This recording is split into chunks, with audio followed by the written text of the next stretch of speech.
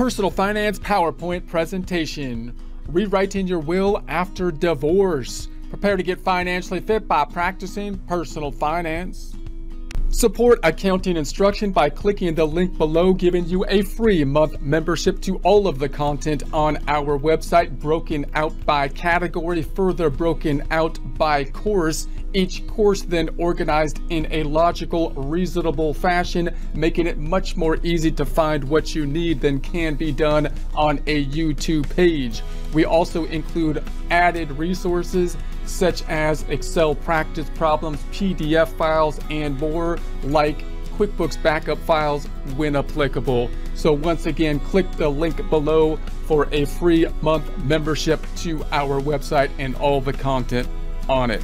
Most of this information comes from Investopedia, Rewriting Your Will After Divorce, which you can find online. Take a look at the references, resources, continue your research from there. This by Alicia Tuovila, updated May 18th, 2022. In prior presentations, we've been looking at estate planning, now focusing in on particular components, particular tools that could be useful in estate planning depending on your situation. This time talking about rewriting your will after divorce. So clearly, if we think about the timeline that we've talked about in prior presentations of the estate planning process, clearly before death, what we would like to do is being able to plan for the point of death being able to allocate our assets in accordance with our wishes, trying to remove or eliminate or reduce taxes if possible, and trying to make it as easy as possible on our loved ones at that point in time.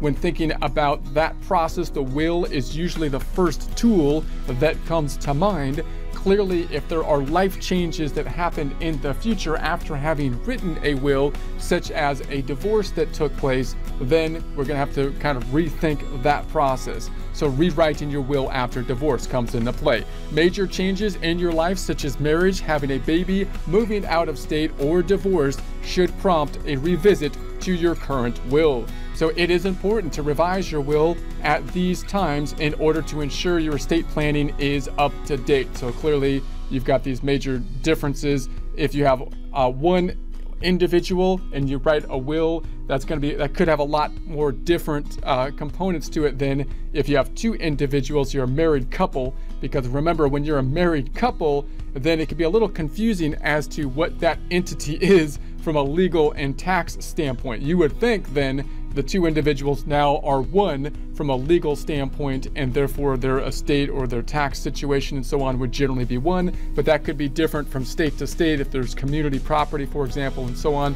And then, of course, if there's a divorce and you have situations of joint custody and that kind of thing, that can also add to uh, the levels of confusion, requiring updates to things like a will. So if you forgot to update your will after a divorce, you risk having your assets disputed to your ex-spouse. So if you're very upset with your ex-spouse, that might not be what you want to have happen at that point. So state laws and gifts. Many states have laws that after a divorce automatically revoke gifts to a former spouse listed in a will. For example, a Florida st statute states, quote, any provision of a will executed by a married person that affects the spouse of that person shall become void upon the divorce of that person or upon the dissolution or annulment of the marriage after the dissolution, divorce, or annulment, the will shall be administered and construed as if the former spouse had died at the time of the dissolution, divorce, or annulment of the marriage, unless the will or dissolution or divorce judgment expressly provides otherwise. End quote. Some states go even further to include provisions that revoke gifts to family members of a former spouse. If you live in a state that has such a law, gifts to former stepchildren uh, would also be revoked after your divorce. So notice it gets a little bit confusing when you think about, you might say, well, what's going on here with the gifts, the gifts and the uh, inheritance and the divorce and the will.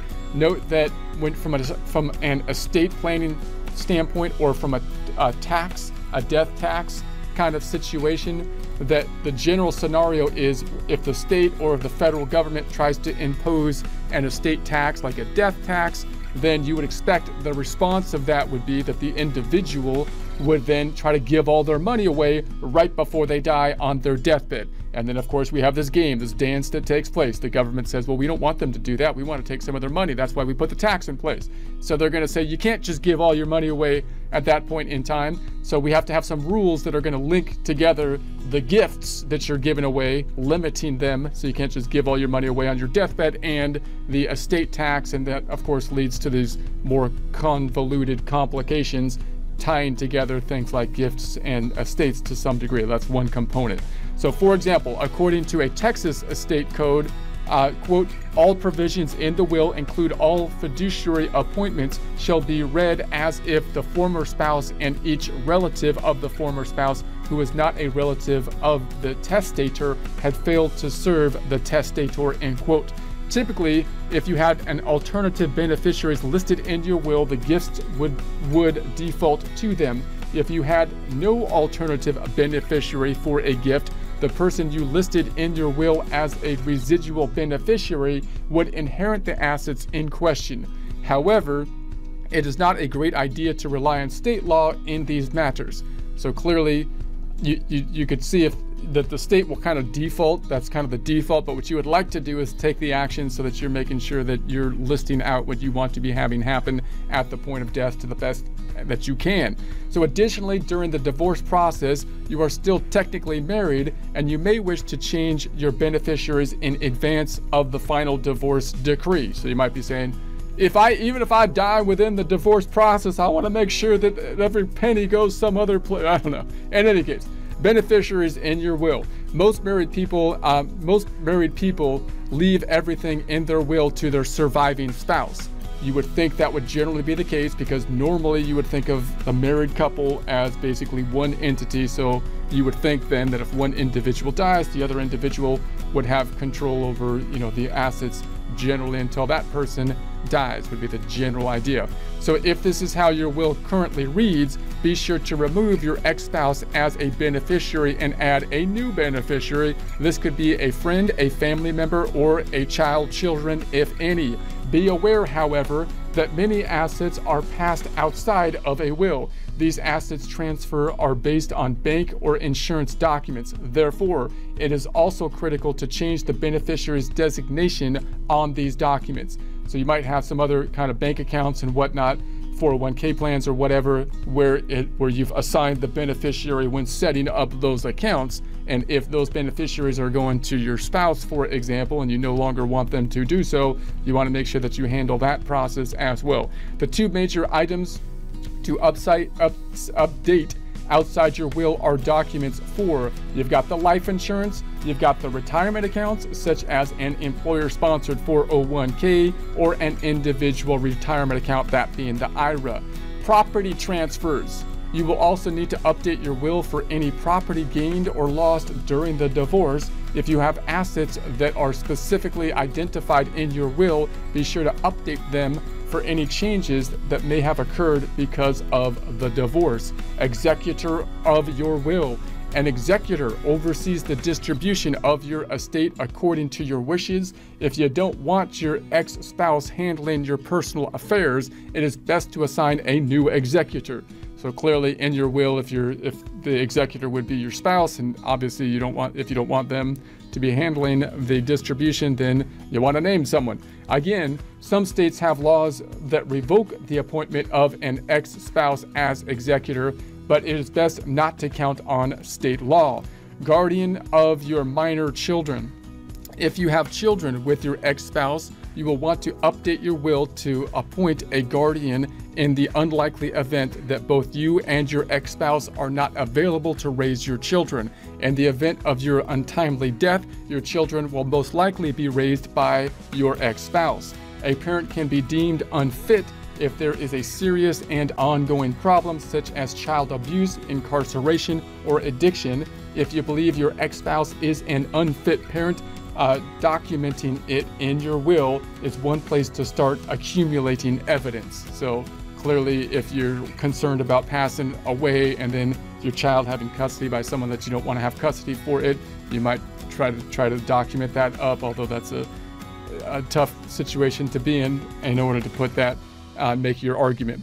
How do you update your will? You can update your will by codicil or by writing an entirely new will. A codicil is an amendment to a previous will. Because there will be many changes to your will resulting from your divorce, the easiest option may be to write a new will. So clearly a divorce isn't like a one line item change, possibly it could have a substantial change on the entire will, so it might be best or easiest just to redo the whole thing. If you write a new will, you can revoke your old will by physically tearing up the original or listing in the new will that all prior wills are revoked. So you might want to basically name that so you can basically say, hey, look, this is the latest and greatest as of the date that I'm basically writing this will. Hopefully, all the wills that you have are going to be dated and so on so that you can see which is the latest and greatest. You can remove or tear up the old will. Other people might have copies of the wills and so on, so they might, you know, try to, in a bad situation, they could try to falsify the will maybe or something like that. But you want to make sure the latest and the greatest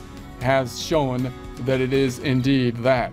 So the newer date on the current will ensures that it supersedes the previous will. You can find sample you can find sample wills online to follow a standard format. Use a software pa- package to make your will slightly more specific to your situation or consult with an estate planning attorney.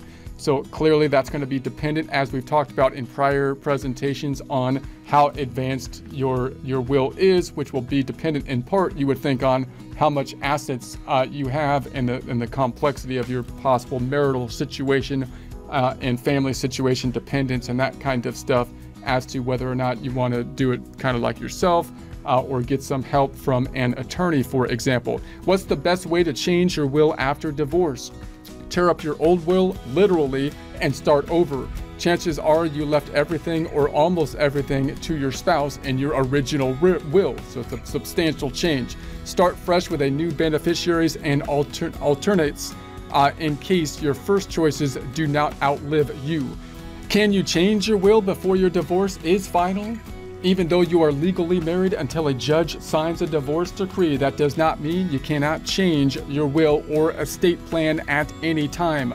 The rules vary, and depending on the type of estate plan or will you have, you can make some changes immediately by yourself.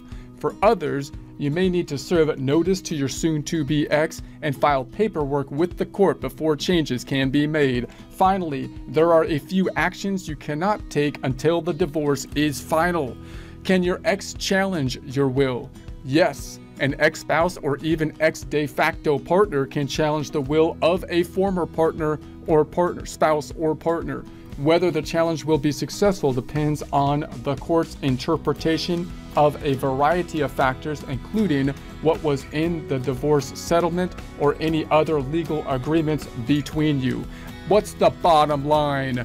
Don't trust that the state law will back up your wishes in the event of your untimely death. So you don't want to basically default to the state. You'd like to basically take the preemptive action usually. So if you don't want your assets transferred to your ex spouse and there's nothing in your divorce agreement that requires this, be sure to put it in writing. Make the will, make the adjustment.